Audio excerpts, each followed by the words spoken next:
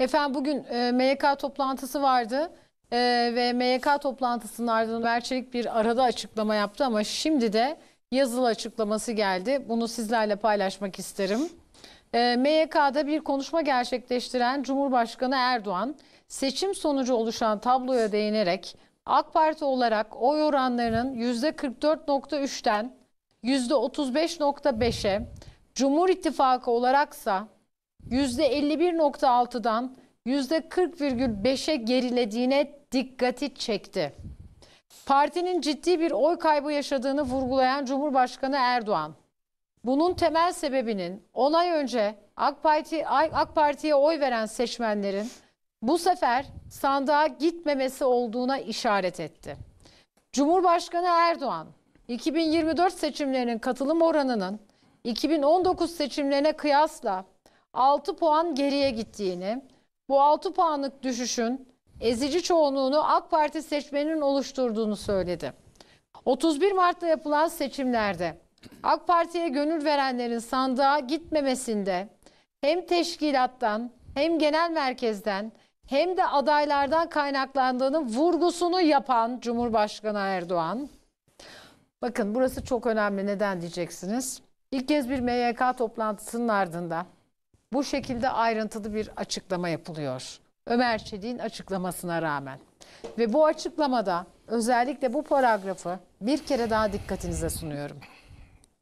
31 Mart'ta yapılan seçimlerde AK Parti'ye gönül verenlerin sandığa gitmemesinde hem teşkilattan hem genel merkezden hem de adaylardan kaynaklandığının vurgusunu yapan Cumhurbaşkanı Erdoğan, birazdan bunların size perde arkasını anlatacağım. Aday belirleme süreci de dahil bunların üzerinde uzun uzun durulması gerektiğini, bu konuda gereken her türlü adımın atılacağını altını çizdi. Cumhurbaşkanı milletin sandığa küsmesine neden olan diğer faktörleri ise hayat pahalılığı, Covid-19 salgınıyla başlayan Rusya-Ukrayna savaşıyla da derinleşen enflasyon baskısı olarak sıraladı. Kurmaylarına verdiği mesajda emeklilerin yüksek enflasyon sebebiyle en fazla refah kaybına uğrayan toplum kesimi olduğunu belirterek emeklilerimizin serzenişlerini il ziyaretlerimizde zaten görüyorduk. Gerek tek seferlik 5 bin lira ödenmesi, gerek %50'yi bulan maaş zamları, gerekse diğer adımlarla bütçe disiplini bozmadan üzerimizdeki bu baskıyı hafifletmeye çalıştık ama muvaffak olamadık tespitinde bulundu. Cumhurbaşkanı Gazze krizi gibi elimizden gelen her şeyi yaptığımız ve bedel ödediğimiz bir meselede dahi siyasi saldırıları savuşturmayı, kimi çevreleri ikna etmeyi bunun da perde arkasını anlatacağım. Maalesef başaramadık. Bunlarla ilgili değerlendirmelerimizde artısı eksisiyle mutlaka yapacağız dedi.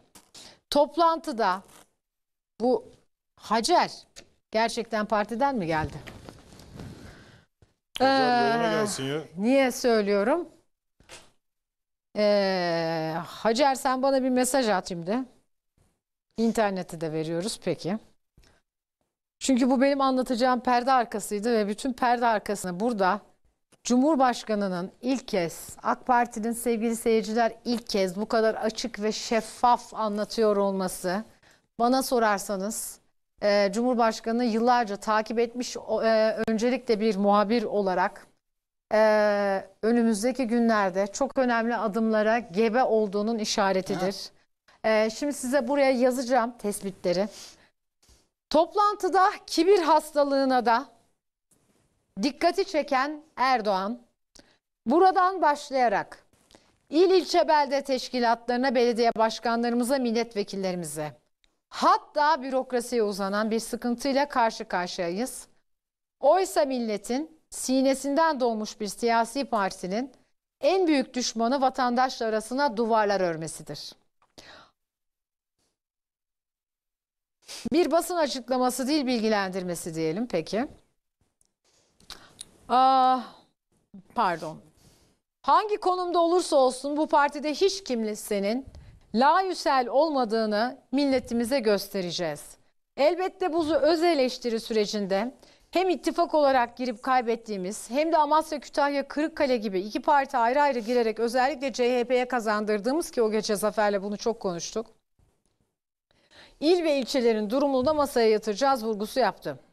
Kurulduktan yalnızca 15 ay sonra bizi iktidara layık gören, henüz 10 ay önceki seçimlerde partimizi açık ara birinci yapan, şimdiye kadar girdiğimiz tüm seçimlerde daima yanımızda duran, velhasıl son 22 yılda tam 17 kez sandıkları bizim için patlatan milletimizin 31 Mart'ta bizi CHP'nin arkasına niçin ittiğini çok iyi analiz etmeliyiz. Değerlendirmesinde bulunan Erdoğan, ortada sadece bir oy kaybı değil, kan ve ruh kaybı olduğunu da söyledi.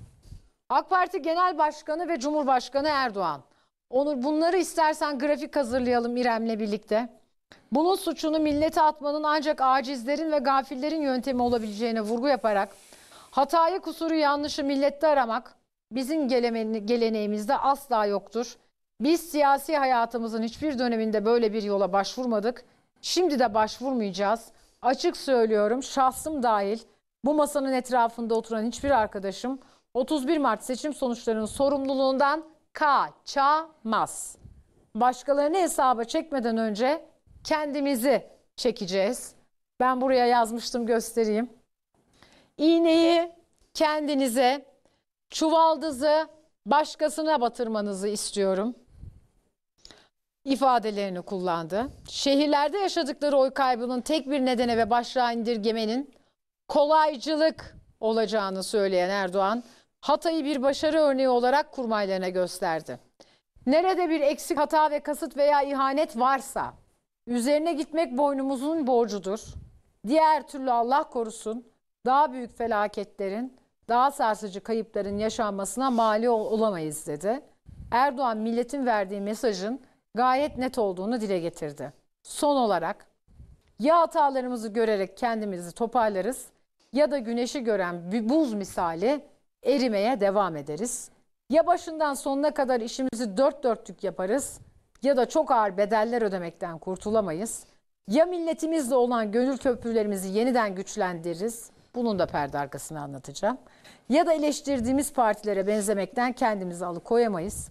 Kim olursa olsun hiç kimsenin 22 yıllık birikimi, 22 senelik zorlu bir mücadeleyi heba ve heder etmesine izin veremeyiz. Bunu müsaade etmeyeceğiz mesajı sonlandırdı konuşmasını.